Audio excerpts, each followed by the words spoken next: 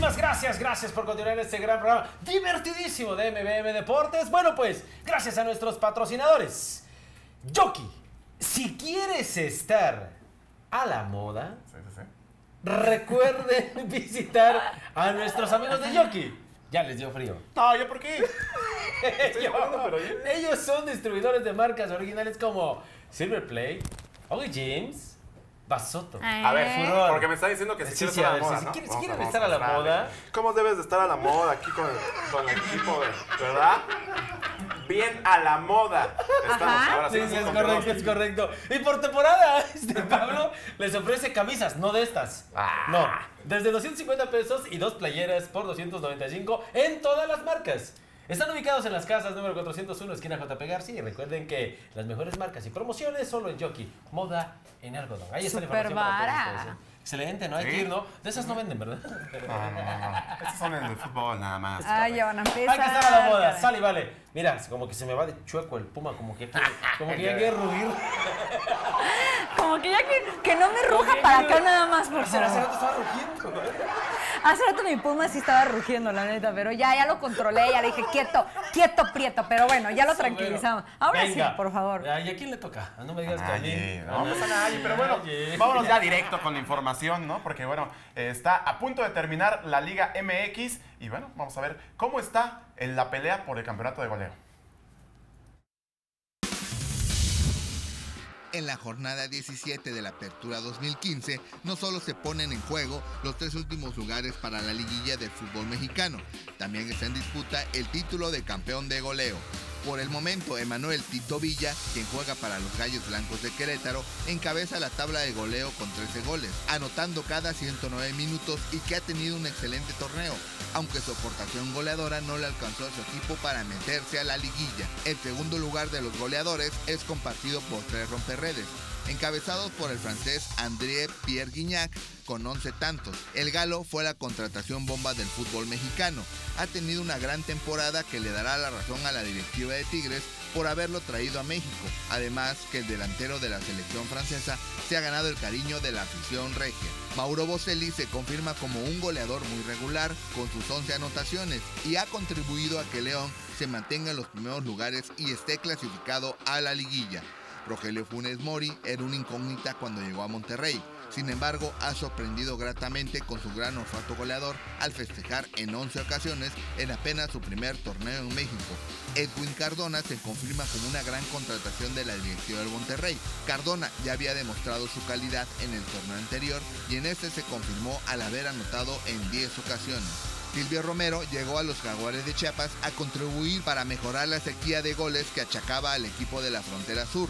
Romero le ha respondido a su técnico Ricardo Antonio Lavolpe, anotando 10 goles hasta el momento. Omar Bravo de las Chivas es el mejor delantero mexicano con 10 tantos.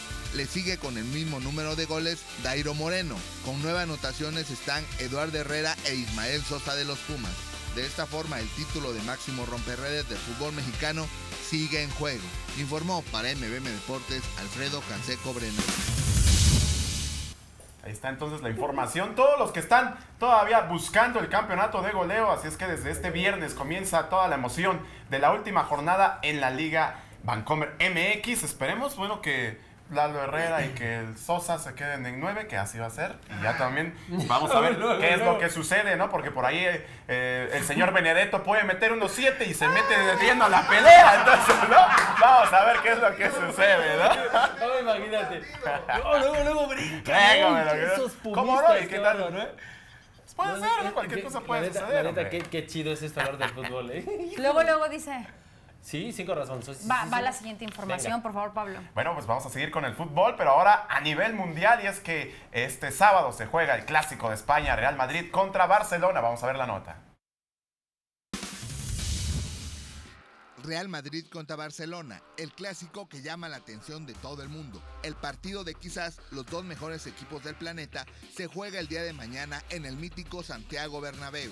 Los dos equipos más importantes de España se encuentran una vez más en un partido que siempre genera mucha expectación y que por lo regular resultan ser partidos de alta calidad futbolística por la capacidad de los jugadores de ambos equipos. El Barcelona llega como líder de la Liga BBVA de España, con tres puntos de ventaja sobre el Real Madrid. El Barça se ha sobrepuesto a la lesión de su jugador estrella, Lionel Messi, quien sufrió una ruptura del ligamento colateral interno de la rodilla izquierda desde el mes de septiembre. El equipo baulgrana no ha sufrido desde que Messi no ha podido jugar y Neymar y Luis Suárez se han encargado de la ofensiva culé. En los cinco partidos en los que ha estado ausente Leo Messi, han ganado cuatro y solo han perdido uno. Se espera que el astro argentino tenga algunos minutos de juego en el Superclásico. Su contraparte, el Real Madrid, llega sumido en una crisis en la que se rumora una ruptura del vestidor porque los jugadores no están de acuerdo con la forma de plantear los partidos de Rafa Benítez. Se rumora que en días pasados se reunieron los capitanes del Madrid, Sergio Ramos y Cristiano Ronaldo, con el técnico español para sugerirle un planteamiento más ofensivo. Por otro lado, también se especula sobre la salida de Cristiano Ronaldo de la Casa Blanca, pues parece no estar a gusto con la gestión de Rafa Benítez, ni del rol que está desempeñando en la cancha el tres veces ganador del balón de oro. Con todo esto, el futuro del astro portugués podría estar en Francia con el PSG en el verano próximo. El partido revisó una gran importancia, pues de ganar el Barça se alejará seis puntos del equipo merengue. En caso de ganar el Real Madrid, alcanzaría en 27 puntos al Barcelona en la punta de la tabla de la Liga Española. El Madrid recupera para el clásico a Sergio Ramos, Keylor Navas y a Gareth Bale, por lo que parte ligeramente como favorito. Esta edición del clásico estará prácticamente blindada después de los acontecimientos de hace una semana en París, por lo que se ha dispuesto el mayor dispositivo de seguridad en la historia del clásico español. Informó para MBM Deportes Alfredo Canseco Brena. Bueno amigos, ¿qué tal? Pues estamos en nuestro ah, acostumbrado análisis de la jornada. Se acaba la fase regular de fútbol mexicano. Todavía hay tres boletos disponibles y hay cinco equipos que los están buscando. Y pues tenemos partidos interesantes en el cual, por ejemplo, Morelia-Veracruz es un partido prácticamente de eliminación directa. El que gane estará pasando a los cuartos de final, el que pierda se va a su casa. Monterrey se juega la vida en Toluca en un partido muy complicado. Toluca va a querer ganar, pues quiere asegurar su pase a Libertadores. Y otro partido que implica este liguilla, pues puede ser el Jaguares contra Pachuca. Jaguares busca ascender del sexto lugar de la tabla y pues va, va a tener un, rival difícil. Pachuca no creo que, que, vaya a entregarse, tiene que sumar puntos para no meterse en problemas de descenso. Eh, bueno, eh, y el ya mencionado, el, clásico del, Distrito Federal, Pumas visita el gallinero, ¿verdad? ¿Eh? Por ahí yo estoy escuchando que que Pablo tiene la esperanza de que Benedetto meta siete goles. Si no los metió en toda la temporada, menos los va a meter contra la, contra, contra la segunda mejor defensiva del torneo, ¿verdad? Y vamos a ver cómo le va al América, que lleva cuatro derrotas de local. No ha podido defender su gallinero, lastimosamente está peor que la peatonal. Cualquiera pasa por el Estadio Azteca y se lleva puntos de ahí. Pumas, de los mejores visitantes, ha conseguido buenos resultados. A temblar, Águilas, a temblar, que el superlíder les va a dar su tunda y los va a mandar al séptimo lugar de la tabla, señoras y señores.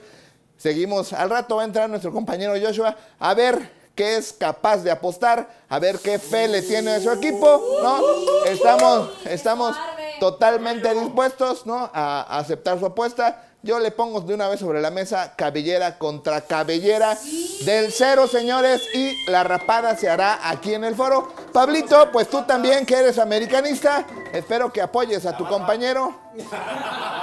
La barba, la barba esa que se depila. Bueno, ya serios, pues entonces mañana este, ya se estarán definiendo prácticamente los cuartos de final de esta apertura 2015. Por otro lado, tenemos el partido de partidos, señores, donde quizás, quizás estén 22 de los mejores jugadores del mundo. Real Madrid recibe al Barcelona, un Real Madrid que está sumido en una crisis de problemas internos. Al parecer muchos jugadores no están de acuerdo con la gestión de Rafa Benítez. Su sistema de juego como que los detiene, no es tan ofensivo como pudieran ser con el gran potencial que tienen. Y bueno, les recomiendo que tomen agua Gugar a esos americanistas, les va a ir, les va a dar mucha, mucha sed el día de mañana. Aquí está, mi compañero Gustavo me hizo el favor de pasarme. Agua Gugar en sus diferentes presentaciones, 250 mililitros, 600 mililitros, litro, litro y medio y su presentación de 20 litros para los americanistas que les va a dar mucha sed del día de mañana. Y bueno, yo les digo, en el siguiente bloque haremos lo de la apuesta, señores. Vámonos un corte y regresamos con más de MBM Deportes.